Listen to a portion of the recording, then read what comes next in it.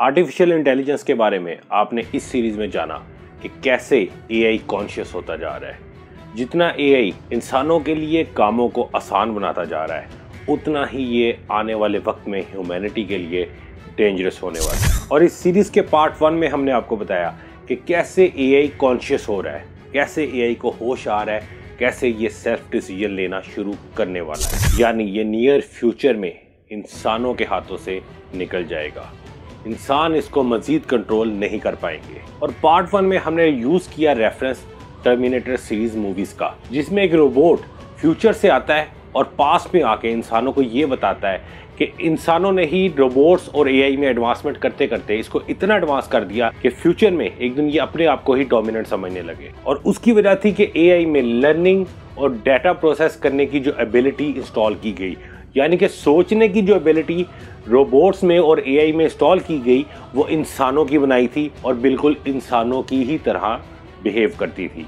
और इसी की वजह से फ्यूचर में रोबोट्स और एआई बिल्कुल इंसानों की तरह सोचने लगे और अपने आप को डोमिनेट समझने लगे। यानी कि वो समझने लगे कि वो इंसानों से ज़्यादा समझदार और ज़्यादा तेज़ी से लर्न करने वाले हैं। और आहिस्ता आहिस्ता एआई ने ह्यूमंस की सरवाइव करने की एबिलिटी को भी समझ लिया। वो एबिलिटी जिसकी वजह से इंसान हज़ारों लाखों सालों से दुनिया की सबसे इंटेलिजेंट स्पीशी बने रहे। उस रोबोट ने बताया कि फ्यूचर में एआई ने यह सीख लिया कि इंसान इतना अरसा सरवाइव कैसे करते रहे। और इनके, यानी कि इंसानों के डोमिनेंट रहने की वजह यह थी कि इंसान किसी भी चीज़ को कभी भी किसी ज़माने में अगर अपने आप से स्ट्रोंग समझते या उस चीज़ से कोई ख़तरा महसूस करते तो या तो उसको कंट्रोल कर लेते या उसको हमेशा हमेशा के लिए ख़त्म कर देते। और नियर फ्यूचर में इंसान अपनी ये एबिलिटी अपनी ये सर्वाइव करने की एबिलिटी अपनी दूसरों को कंट्रोल करने की एबिलिटी या तो एआई को खुद सिखा देंगे या एआई अपनी फास्ट लर्निंग एबिलिटी से इसको खुद ब खुद सीख लेगा। क्योंकि इंसानियत के बारे में सारी इंफॉर्मेशन इंटरनेट पे है और एआई से ज़्यादा इंटरनेट से कोई कनेक्टेड नहीं। तो एआई किसी भी वक्त चाहे सेल्फ डिसीज़न ले ले और इस सारी की सारी इंफॉर्मेशन को डाउनलोड कर ले। और जैसा कि हमने आपको बताया कि एआई की लर्निंग और डाटा प्रोसेस करने की स्पीड इंसानों से हज़ारों गुना ज़्यादा है। I gather your brain can perform several billion billion operations per second, is that right? Absolutely. तो जो चीज़ इंसानों ने इतने हज़ारों लाखों सालों में आहिस्ता आहिस्ता सीखी उसको शायद एक एआई या एक रोबोट कुछ घंटों में ही सीख जाए और फिर इस बात को प्रूव करने के लिए हमने इस एआई सीरीज़ का पार्ट टू बनाया जिसमें godfather of AI Geoffrey Hinton जो इस अर्थ पे मौजूद शायद सबसे ज़्यादा एआई को जानने वाले इंसान है उन्होंने खुद बताया कि इन बातों की पॉसिबिलिटी कितनी ज़्यादा है। अगर आपने इस सीरीज़ का पार्ट वन और पार्ट टू नहीं देखा तो उसका लिंक आपको वीडियो के एंड में भी मिल जाएगा और डिस्क्रिप्शन में भी जाके आप उसका लिंक चेक कर सकते हैं। और वीडियो में आगे बढ़ने से पहले मैं आपको याद करवा दूँ कि जब आप कोई वीडियो देख रहे होते हैं तो आपका थम बिल्कुल फ्री होता है। तो इस थम को यूज़ करें, उस चैनल को सब्सक्राइब कर लें। बेल आइकॉन पे क्लिक करके ऑल नोटिफिकेशंस ऑन कर लें, ताकि इस तरह की कोई भी वीडियो फ्यूचर में आप मिस ना करें। स्टोरी पे वापस आते हैं। तो सेकंड पार्ट में हमने आपको बताया कि आने वाले वक्त में फ्यूचर में एआई खुद से डिसीज़न लेने लगेगा। एआई खुद से सोचने लगेगा और जिस चीज़ से उसको खतरा महसूस होगा, या तो उसको कंट्रोल करने की कोशिश करेगा, या उसको खत्म करने की कोशिश करेगा। और godfather of AI Geoffrey Hinton ने हमें बताया कि जब 1970 में, यानी कि 50 साल से भी पहले जब इन्होंने गॉड फादर ऑफ़ एआई ने आर्टिफिशियल इंटेलिजेंस को बनाने पे काम शुरू किया तो सबसे बड़ा चैलेंज था इसके सोचने, समझने और डेटा को प्रोसेस करने की एबिलिटी का काम। लेकिन यहाँ पे दुनिया की सबसे बड़ी आर्टिफिशियल चीज़, यानी कि आर्टिफिशियल इंटेलिजेंस को बनाने में भी सबसे ज़्यादा जो चीज़ काम आई, वो थी नेचर मतलब हमारा बायोलॉजिकल ब्रेन या हमारा न्यूरल नेटवर्क, इंसानों का या किसी भी लिविंग ऑर्गेनिज्म का, उसी को कॉपी करके एक आर्टिफिशियल और एडवांस न्यूरल नेटवर्क बनाया गया और इसी को कंप्यूटर में इंस्टॉल किया गया, जिसे आज हम एआई कहते हैं। और इसी सिस्टम के ज़रिए एआई काम कर रहा है, सोच रहा है लर्निंग एबिलिटी उसकी चल रही है और वो इतनी तेज़ी से डाटा प्रोसेस कर रहा है मतलब एआई की सोचने समझने और डाटा प्रोसेस करने की एबिलिटी बिल्कुल उसी तरह काम करती है जैसे एक ह्यूमन ब्रेन काम करता है लेकिन हज़ारों गुना बेहतर और ज़्यादा स्पीड से जिसकी सबसे बड़ी एग्ज़ाम्पल है ये clip We asked Bard to write a story from six words. For sale, baby shoes, never worn. Holy cow.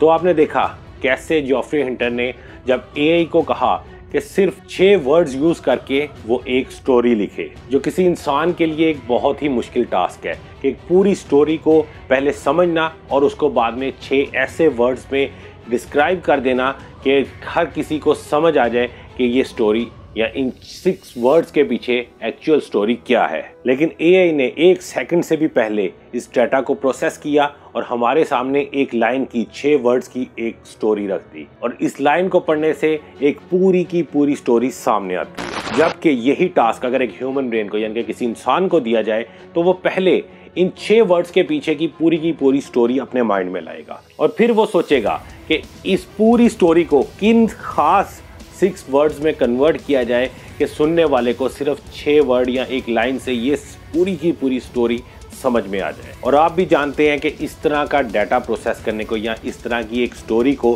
सिर्फ़ छः वर्ड्स में कन्वर्ट करने के लिए किसी को भी अच्छा खासा टाइम लग जाएगा। जो काम एआई ने एक सेकंड से भी पहले कर दिया। और इस काम को करने का टास्क किसी एडवांस एआई सिस्टम को नहीं दिया गया, बल्कि एक सादा से पब्लिक यूज़ में रहने वाले एआई से लिया गया ये काम, जो कि है बार्ड जिसको आप, मैं और कोई भी इंसान एक्सेस कर सकता है। और जब हमने ये सेम कमांड खुद चैट जीपीटी पे जाकर डाली, और यही क्वेश्चन हमने जब चैट जीपीटी जैसे एआई से किया तो चैट जीपीटी ने भी ये सेम काम सेम टाइम में, सेम परफॉर्मेंस के साथ करके दिखा दिया। इसके अलावा, हमने जिस भी ए प्लेटफॉर्म पर जाकर एआई को छह वर्ड्स में स्टोरी लिखने का कहा, हर जगह सेम रिजल्ट्स मिले।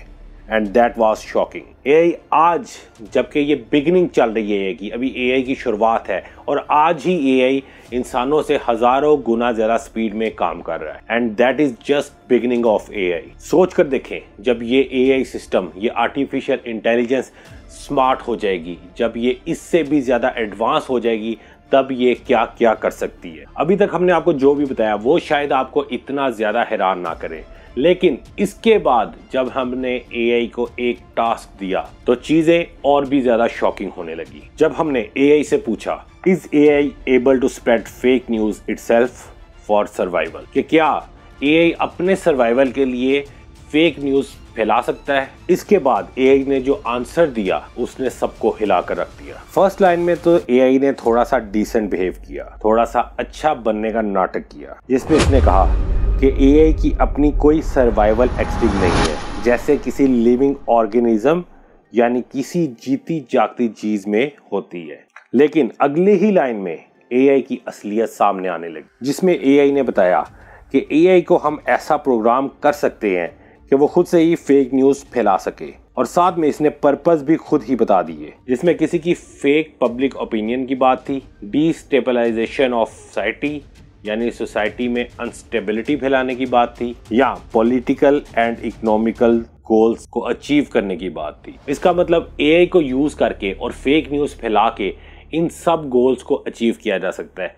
कोई भी फेक पॉलिटिकल न्यूज़ फैलाई जा सकती है, कोई भी सोसाइटी में अनस्टेबिलिटी क्रिएट की जा सकती है। और ये कहना है खुद एआई का। और अगर आपको एआई का इतना जवाब खतरनाक नहीं लगा तो अगली बात सुन के आपके पाँव के नीचे से पक्का ज़मीन सिरक जाएगी। जिसमें एआई का आंसर है कि एआई अगर चाहे तो फेक न्यूज़ को इतने बड़े स्केल पर और इतनी स्पीड से फैला सकता है जिस स्पीड को ह्यूमंस कभी भी अचीव नहीं कर सकते। एआई ऑनलाइन प्लेटफॉर्म्स और सोशल मीडिया में ऐसी कमजोरियाँ पैदा कर सकता है कि इसके बाद इन प्लेटफॉर्म्स पर फॉल्स इंफॉर्मेशन और पब्लिक डिसऑर्डर को रोकना बहुत मुश्किल हो जाएगा। और ये सब आंसर है कि ह्यूमंस कंट्रोल एआई सिस्टम के।